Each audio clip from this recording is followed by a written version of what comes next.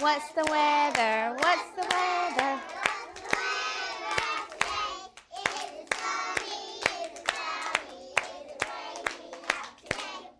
Now, we usually look at our windows, but I think that you can remember what the weather was like on your bus ride or in your car and while you walked into school. So, I need one of my helping hands. Let's see, Jackson Croy. Can you tell me what the weather was like today?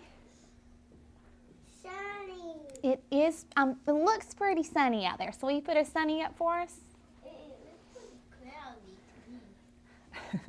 It could be, maybe it's partly Oh, cloudy, too. partly sunny. It's.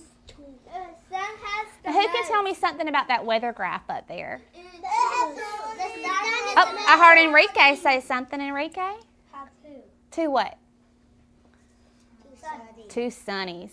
So if there's two sunnies and how many cloudies? One. Which one has the most? The sunny. The sunny.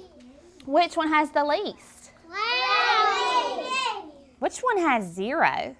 The rainy. Rainy. That means that's really good because that means we get to go outside if there's no rainy. Yeah.